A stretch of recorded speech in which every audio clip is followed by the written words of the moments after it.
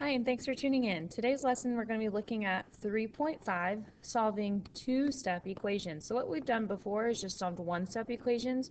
When we see addition, we use subtraction. When we see division, we use multiplication and vice versa. So today we're going to be putting both of those things together and trying two-step equations. That means we're going to be seeing like adding and multiplying or subtracting and dividing and a mixture of those things. You're going to be writing six things down in your six things down in your notes today. So let's go ahead and get started.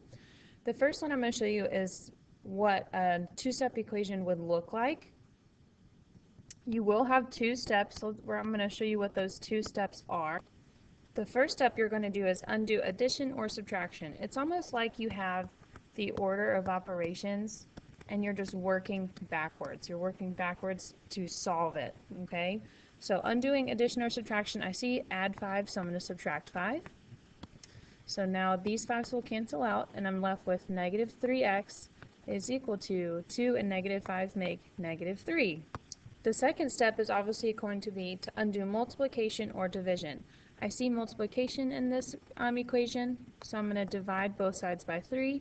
X is equal to, excuse me, negative 3. x will be equal to positive 1. Remember, you can plug your answer back in to see if it gives you the correct answer. Negative 3 times 1 is negative 3, and negative 3 plus 5 is equal to 2, so my answer is correct. Okay, so undo addition or subtraction, undo multiplication or division, it's essentially working backwards from the order of operations. So what we're going to do is go ahead and copy these things on this. So let's go ahead and copy the steps down, undo addition or subtraction, undo multiplication or division, and then we're going to try this question.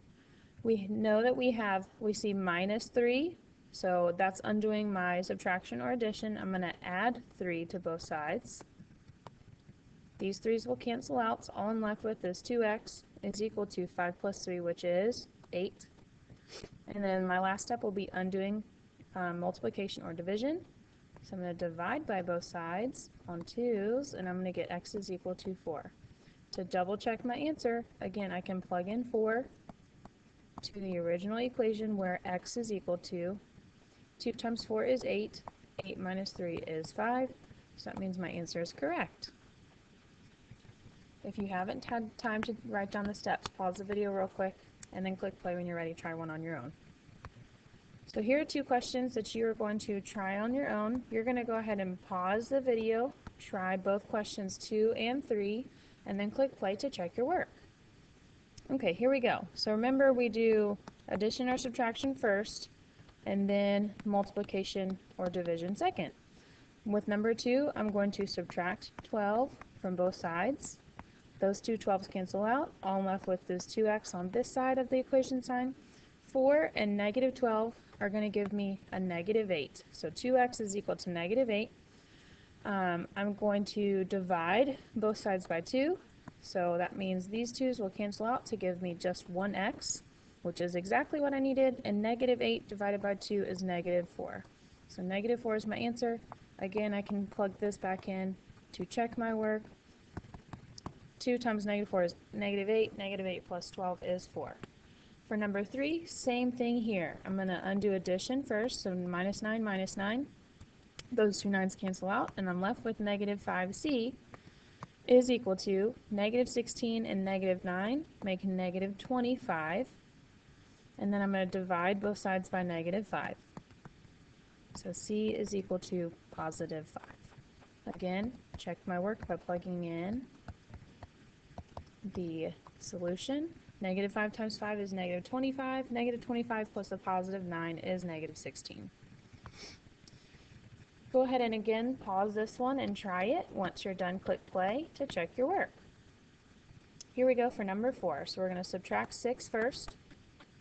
These two 6's cancel out, so all I'm left with is m over 2 is equal to 4. And then I see division, so I'm going to use multiplication to solve. I'm going to multiply both sides by 2. These 2's can cancel out, so all I'm left with is m, and 4 times 2 is 8. Once again, you can plug in your answer into the um, question to see if your solution makes it true. 8 divided by 2 is 4, and 4 plus 6 is 10, so that means my answer is correct. Sometimes you might have you might have to combine like terms before you solve. So notice this is 3y minus 8y.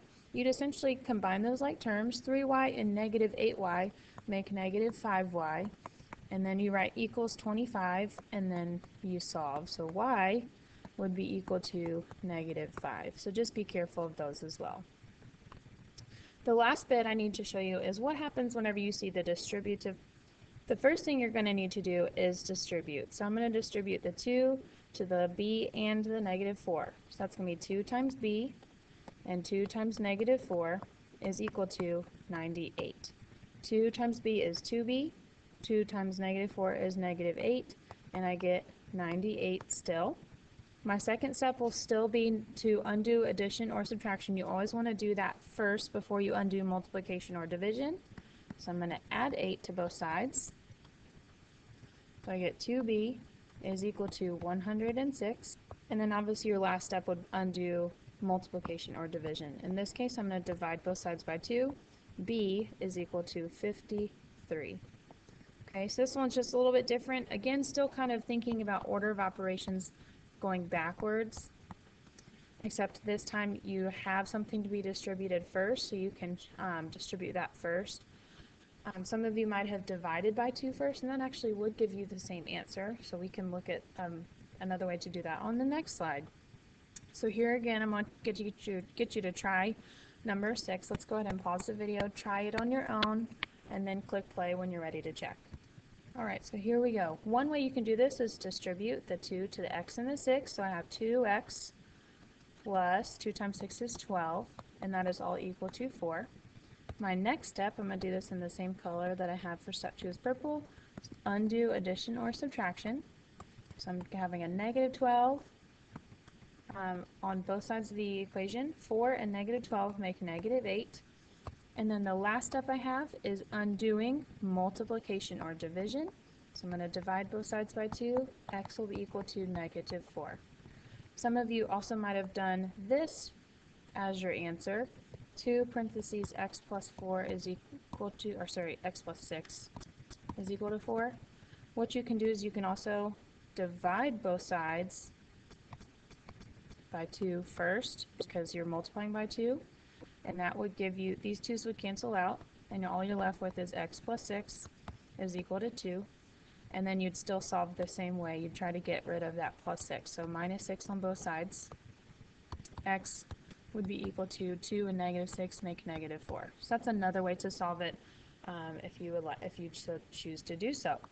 That's going to conclude our notes, so make sure that you have all six things written down. Thanks so much for tuning in, and we'll see you next time.